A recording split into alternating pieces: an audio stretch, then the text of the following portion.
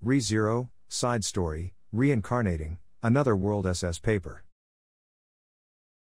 Hey, Subaru, Subaru. We're really cutting it close. It seems like it's time for us to start working. What happened, Emilia Tan? Panicking like that?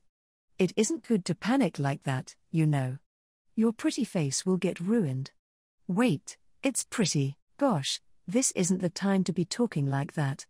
Look, this is our chance to introduce ReZero, so we need to do our darndest. I don't hear the word darndest being used in this day and age.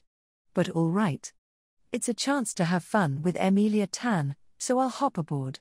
Time to introduce ReZero. Um, the proper name for ReZero is ReZero, starting life in another world, and the main point of this introduction, the plot of this story, is. It's a story where Subaru dies a lot in a world he isn't familiar with. That's really vague, and is it just me, or does that make it sound like I'm just dying a lot without doing anything? It's in the looping events genre, and Another World X Return by Death are the foundations of the plot. It's the story of an ordinary boy that works really hard to help the girl he likes. Hey, Subaru, who is this girl you like? Ah, ah, ah. I can't reveal that part since it has to do with a boy's pure heart.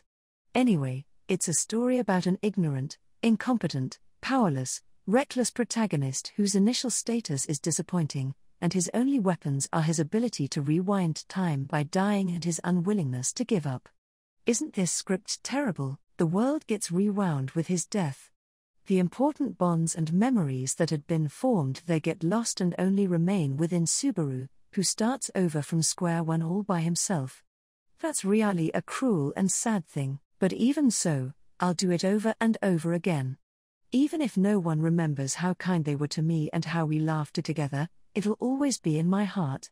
I'll always have the memory of having a good time with everyone and the hope that I'll be able to spend time with them again tomorrow. A looping events fantasy in another world, ReZero, starting life in another world.